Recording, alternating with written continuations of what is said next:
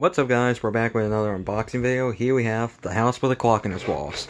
Now I've not seen this movie in like forever, back in, when it came out in 2018, but I got it. It was on sale, so I decided to get it.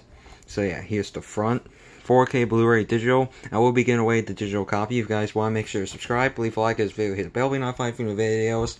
Make sure to include your Gmail so I can send you the code if you want. So, here's the spine, the back, uh, I won't.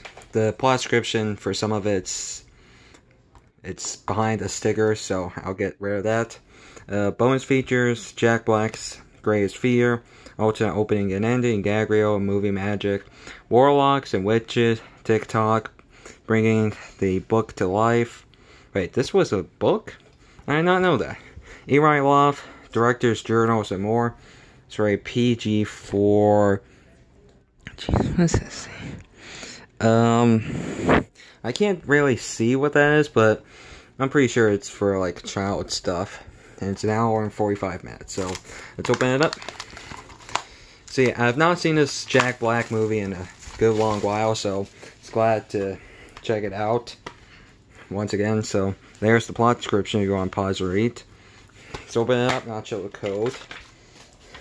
Now, I don't use these as a gift, get a free movie and more. So, you guys want it? There you go. There's the four, the Blu-ray, the 4K. Really nice artwork on the 4K. So that was the house with the clock guys watched. Thank you guys for watching. Comment, like, subscribe, and I'll see you guys later. Bye.